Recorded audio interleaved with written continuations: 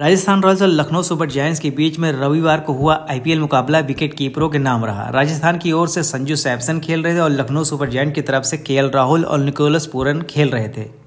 Rajasthan Royals ने toss जीतकर पहले बल्लेबाजी करने का फैसला किया और उन्होंने टोटल एक सौ तिरानवे रन बनाए। ये मुकाबला जयपुर के मानसिंह स्टेडियम में हो रहा था। टॉस जीतकर संजू सैमसन ने पहले बल्लेबाजी करने का फैसला किया, लेकिन टीम को वो अच्छी शुरुआत नहीं मिली। सी जायसवाल और जॉस बटल की आरंभिक जोड़ी ने जो है टीम को अच्छी शुरुआत नहीं दिलाई और दूसरे ही ओवर में जॉस बटलर लौट गए। इंग्लैंड के विरुद्ध टेस्ट सीरीज़ में अच्छा खेलने वाले सात से ज़्यादा रन बनाने वाले जैसे सी जायसवाल कुछ आकर्षक शॉट लगाए, लेकिन वो बड़ा स्कोर नहीं बना सके। इसके बाद संजू सैमसन और रियान पराग आया और उन्होंने टीम को संभाला और अच्छी शुरुआत दी। दोनों ही बैट्समैन ने तीसरे विकेट के लिए तिरानवे रन की साझेदारी की और टीम को बड़े स्कोर की तरफ़ बढ़ाया। और संजू सैमसन 2020 से हर सीज़न में पहले मुकाबले में 50 से ज़्यादा रन बनाते हैं और उन्होंने जो है पाँच सेशन में चार अर्धशतक और एक शतक जड़ा है। दूसरी टीम यानी कि लखनऊ सुपर जैंट लक्ष्य का पीछा करनी उतरी और उनके ग्यारह रन पे तीन विकेट गिर गए, जिसमें क्विंटन डिकॉक देवदत्त और आयुष वापस लौट चुके थे। के राहुल आए और उन्होंने इम्पैक्ट प्लेयर दीपक हुड्डा के साथ चौथे विकेट के लिए